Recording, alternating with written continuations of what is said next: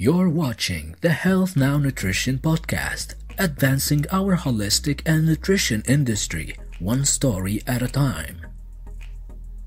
Presenting your host, Michelle Post.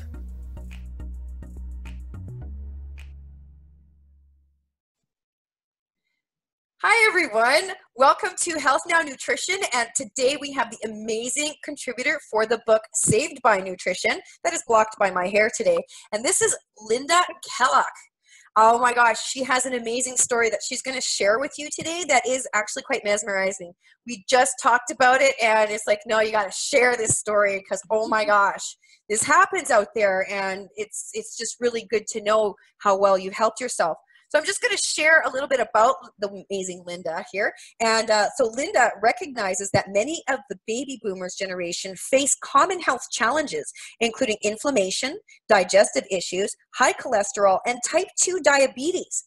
Many need to undergo surgical procedures. She feels grateful to be able to work with the boomers and seniors to help them attain a healthier and happier existence through nutrition and lifestyle changes that are customized to them super important. Linda is an avid paddleboarder. Love that. And has practiced yoga for over 10 years. She begins each day with a long nature walk with her dog and practices the holistic lifestyle that she believes in and experienced.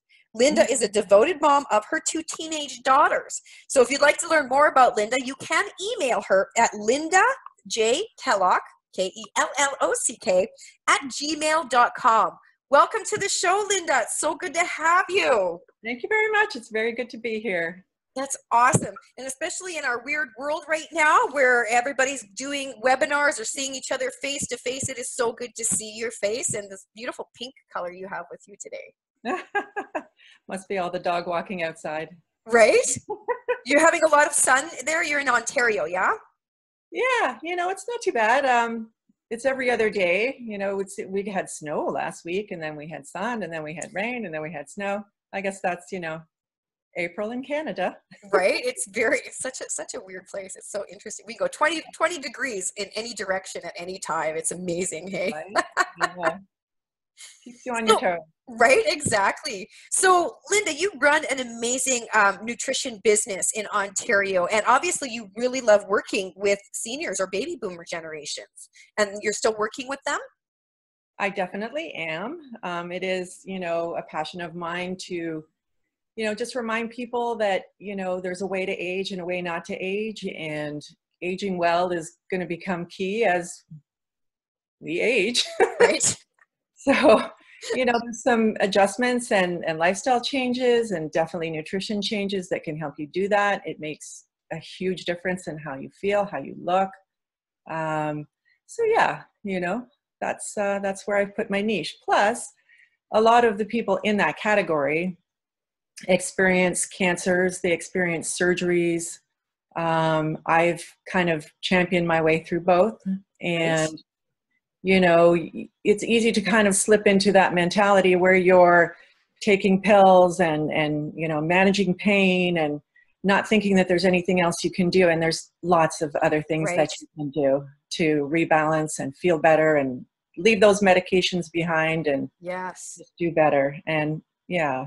So Absolutely. that's why I, that's why I like that whole age group you know. They they need the support Absolutely, absolutely. Our whole trajectory in our lives have actually gone way to the um, everything's medicated. As soon as you hit 40, you start getting prescribed your first.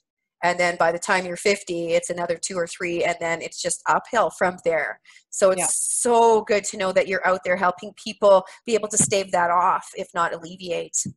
Right. I have I have clients that you know we work together, and they're on no medication, and they're in their 70s. So it Beautiful. can be done. It can be done. I and agree. it needs to be done. We just, you know, we just accept it, and we really should not. Yeah, yeah, absolutely. So you were able to write your own health story for the upcoming Saved by Nutrition book. What was it like for you to just get that story down? It was really really therapeutic to be honest. I mean i learned a lot from you just on you know the writing style to be in a book like this which was fantastic. But also i mean i never really journaled my way through my experiences and i probably should have. Um, so to get it written down, you know, and and really sit back, you know, now that I'm on the other side and analyze it and think about it, um, it was kind of like finishing off a chapter for me, you know, putting it behind me, dumping the rest of it out, and I really, it was amazing. Actually, it was really amazing to do it. Yeah. Wow. And I'm so glad that you did because you do have quite an inspirational story and one I hadn't heard of before. So, you know, yeah. I want to get to the meat of that too. So, just for all you all to know, our story today starts off with a cancer diagnosis. But before you got diagnosed with cancer, tell us what was going on for you. Yeah. Um, well, I never cancer never entered my sphere ever because my you know family history and everything like that and I, i'm pretty relatively healthy person at the time but you know busy mom and maybe not eating as well as i should all the time and maybe having a little too much wine here and there and you know as our age group loves to do. Maybe not having as much time to exercise as i would like but um yeah so anyway i found myself after my kids and everything i was really really top heavy and i was having difficulty you know doing yoga and doing some of the things that i truly love because you know if you picture strapping a 10 pound bag of potatoes to your chest and then trying to get some things done or just you know engage in some kind of sport even riding a bike wow you know there's pain involved and you know i just got fed up with it and then someone pointed out to me that um, it is actually in our medical system recognized as something that's um, a medical condition. You know, it does impact your life and and your health. Um, even even just your breathing, to be honest, like it's just heavy. So, so just for people out there who don't know, you're talking about a breast reduction. I had a breast reduction. I found out that that was something that was, you know, available to me and I jumped on it. I thought, oh, this would just be the, this would just improve, improve everything for me. Um, you know, so I went for it. And what I didn't know is they always take samples of any tissue now that they remove from your body and it goes straight to pathology. Interesting. I didn't know yeah. that. I thought they always had to order biopsy. Well, I don't know across. I, I just know that in the in Markham Stouffville Hospital and in general in Ontario, I don't. I can't speak, I guess, for all of right. Canada, but it makes sense. I mean, if they remove any tissue from your body, it immediately goes to pathology and they test it. Was never mentioned to me, but they did, and then right. that's when I got a call from the plastic surgeon saying, oh. "That man, I need to talk to you." So and before she tells you what the surgeon said, I'm just going to reintroduce that you can get a hold of Linda at her own email at Linda J. Kellock. So that is L I N D A J K E L L O C K at gmail.com. So, okay, now continue on. You got a call. I got a call and I didn't think too much about it, but I thought it was just a follow up for the surgery and the surgery to be honest was was fine. Um, i recovered pretty quickly.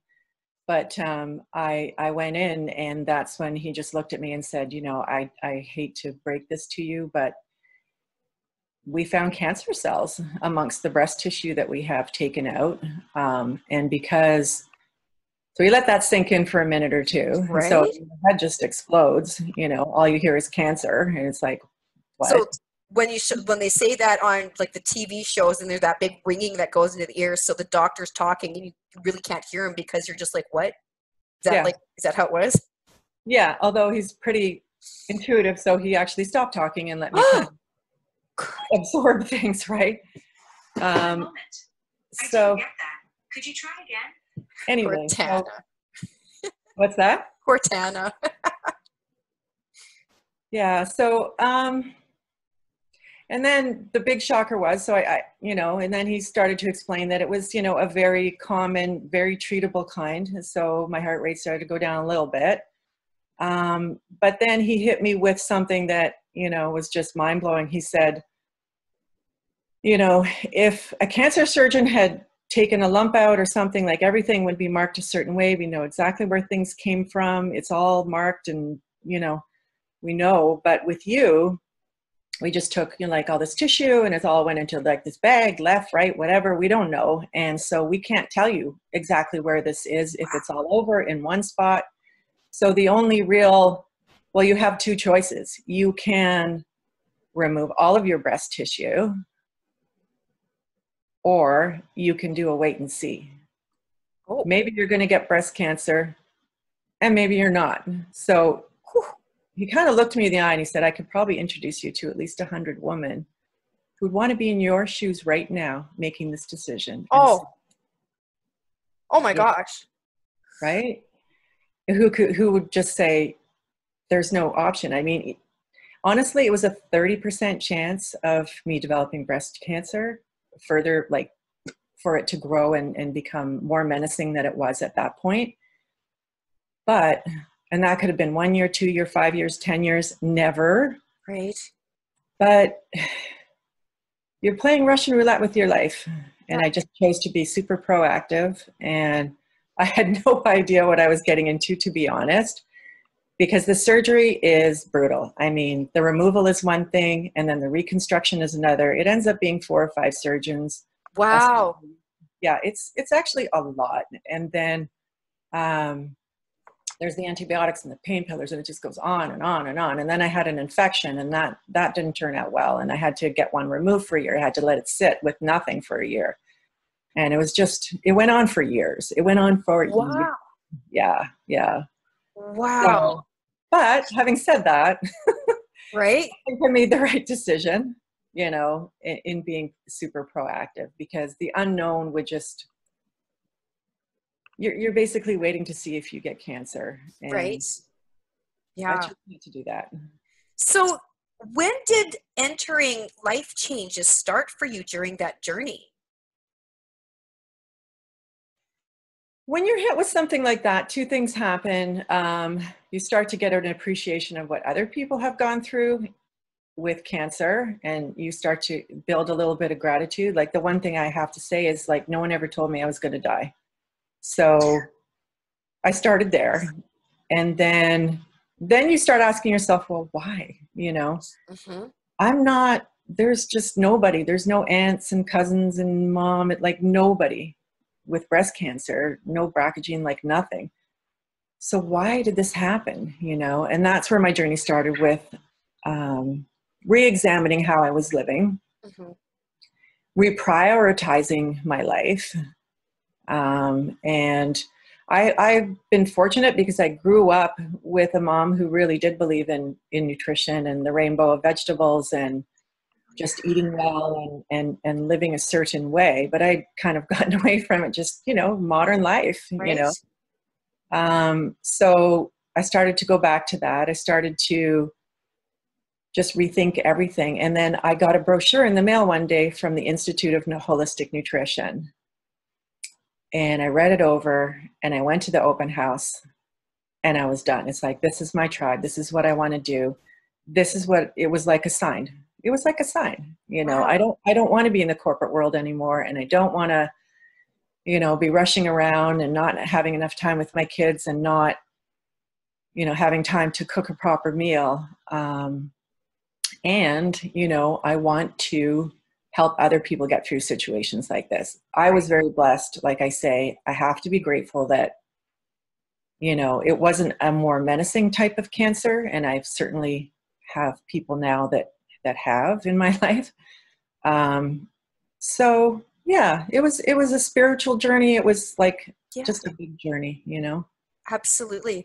And so you started integrating your own nutrition program. When whereabouts were you on this journey?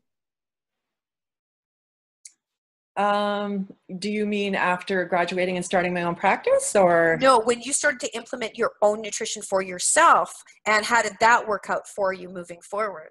Right. Well, um, it sort of coincided around the time that I had, uh, you know, signed up for to become a holistic nutritionist. So that made the job easy because I would come in, I would come giving in you the week. lead.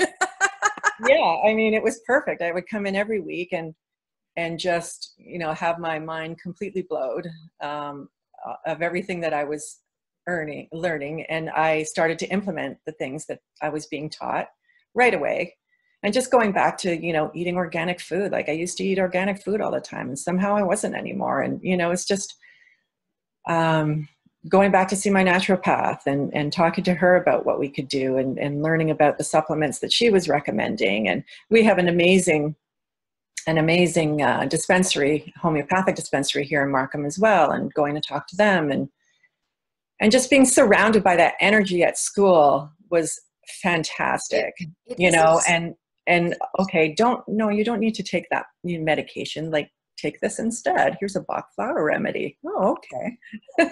wow, yes. You know, so it was just luck, I guess, that everything lined up while I was trying to kind of turn my lifestyle around. I had all the support to do it because I was taking the program. yeah. Yeah. that's wonderful to have the backing of an entire school and then all everyone and the mentality is very different you know when you when you start hanging around those peers it's very oh yeah. Oh yeah. It's like this is where I want to be, you know, forever Right. and ever. absolutely Yeah. so can you share with us like one thing that you did do that made a world of difference for you to i guess not have any further what is it a prognosis? Um, like what is one amazing thing that you know super helped how you felt? One thing. okay tell us two. Whatever makes you happy. Well, I mean, it's it's the whole lifestyle change, but I would say the food because you know you don't realize that you're not digesting properly until you do, and you don't realize that you're not sleeping properly because of you know maybe what you're eating until you start eating properly and then you're sleeping properly. And you don't realize that you know you have these hormonal imbalances. You kind of do but you don't realize that you can you can work with them and and and rebalance them yourself with you know different supplements. And yeah. just everything that i was putting into my body even if i wasn't exercising or doing some of the other things you know prayer and uh, whatever i think just the adjustment in the diet is made the biggest impact for me. I saw improvements right away in my skin and my hair and my nails and my digestion and my sleep patterns. Like it was phenomenal. And it's like yeah i don't have to feel crappy. I can feel good you know? Um i'm not 20 anymore. And so you know i just thought it was normal to feel some of these things that you you just don't feel good as you get older but that's completely not true i feel amazing now better than i've felt in years so That's amazing. And I love hearing that um, from when you had the pre cancer diagnosis to now. Um, how would you say your life has improved so much then on that feeling basis? oh 100% Yeah. 100%. Yeah. I mean, just the energy I'm attracting, the people I'm attracting, um, my happiness level, the relationship with my daughters, um, everything. Just, I'm doing what I love instead of just worrying about money and being on some treadmill going, I got to get my kids RESPs. And, and you do, and I did, but you know, I'm done with that. I want to now do something meaningful, help people, you know, achieve some of the things that I have and know that it can be done. And uh, yeah, it's just, I don't That's know. awesome. It's the best thing. It's that, like, in a way, you have to look at it like maybe it was the best thing that ever happened to me. Awesome. Really awesome. Despite, despite the struggle of it, you come around the other side and there's so much learning and where it's taken me is phenomenal. That and I think it was in the end worth it just for that. Like, Wow. Right. Well, it's usually I'm learning that all this week with the the gurus that I follow as well. Is that when you struggle, when you come out the other side, there's so much more gratitude for life. Um, much. Yeah. right? Beautiful, absolutely beautiful. So, if there's anything you want to share with our audience, hey, dear audience, um, in our world today, or from your own experience, what would what would you really like to help and share with people today for themselves to learn and know?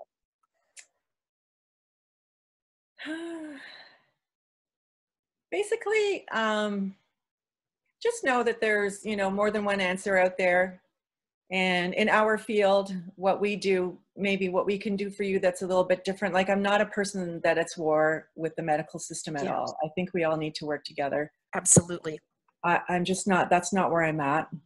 good. I need them, and um, I have really open doctors. I'm lucky, so I don't have that kind of mentality.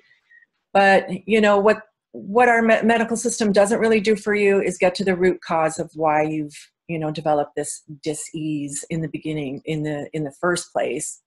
Um, so you're sort of sent packing with certain tools and you know you work through it and you try and do better but you know holistic nutrition is something that can really really get to the root cause help you rebalance help you feel better and i just you know it's it's another thing that's available to you. And you should do all of it you know? It's all important.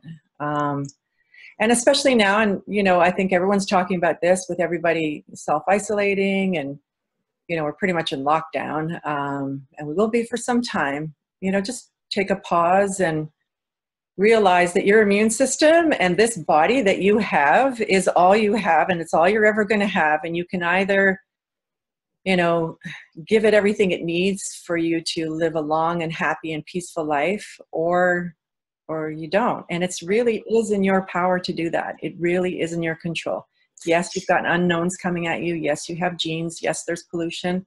But really you have a lot more control than you probably think you do. That's brilliant because it really is about self empowerment when we do take back what we put into our bodies. And I love that you said that right now because there's the whole memes out there about having the devil and the angel on the shoulder is now that we're in lockdown. Um, do I stick to my regime and, you know, make sure that I come out better than when I started? Or, you know what, nobody cares anyways. I'm not going to see anyone, so I can let myself go. And for me, what I see is in six months from now, three months from now, so much ill health because so many people let themselves go, you know? yeah So, yeah. Especially i feel bad for people who are maybe in the city. I mean i'm blessed i'm outside the city. I've got a trail behind me. It's open. We can go out there you know with our our pets and our kids and and go for long walks. And but downtown is particularly challenging. So you know they would maybe have to do some some extra things and Yeah.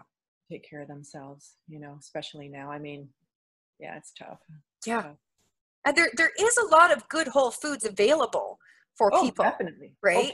yeah yeah Everybody's stocked up on the preservatives uh, for the like the, the other And the stuff paper. and the toilet paper that please Canadians we create our own toilet paper. We're good. So just want to throw that out there. well, I wonder how the sales of bidets have been going because you know that might be something. I kind of want one. Yeah, I always kind of have, and this has kind of pushed me because now there's a portable one. Getting a little off topic here, but it's, a portable one that you can put uh, hooks into the water system of your your, Yeah. your toilet, so you can. Yeah. Anyway. Absolutely. It's it's so poop is important, people. Just so you know, and you're going to hear a lot of that in all these shows. So you haven't figured it out yet. Yep.